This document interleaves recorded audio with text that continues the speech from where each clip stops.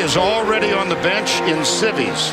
Marshall hit hard by the freshman Cameron Sutton. You heard my voice. I came out. I have on my board four players turned upside down. Gurley and Marshall, Bennett and Scott Wesley, and then Malcolm Mitchell's not playing. Right. For some reason, ah, ah. Kenarious Gates was not in there in that last series. I don't know if he's hurt. Their starting offensive tackle, but it is starting to mount up. And I tell you, Tennessee is smelling it, and Georgia's going, "What's going on here?" And I will remember the words that you said. This is starting to play with the Georgia heads.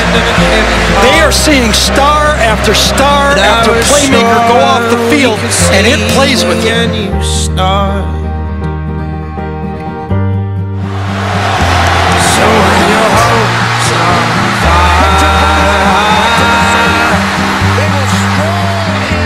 But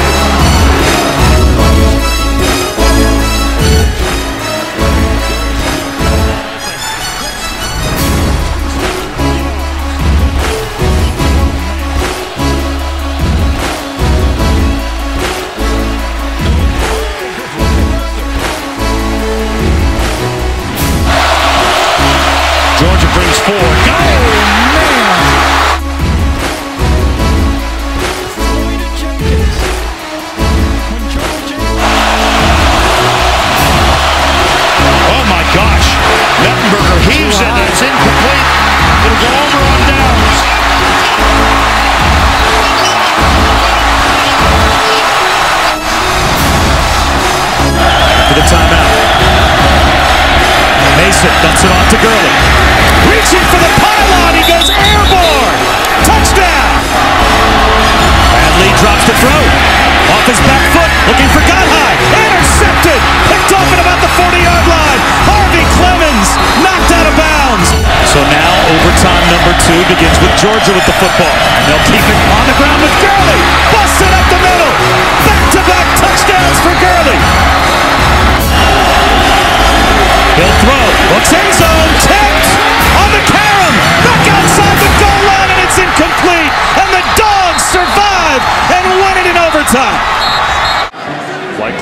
Three. Murray to the air. Dumps it off to a wide open Arthur Lynch. Oh, he leaps a defender. That'll get the Georgia sideline going. Sometimes you just need something, something positive to happen to try to make a play to get the energy back in the crowd. And Artie Lynch right over the top. Randy Ponder, the defender, went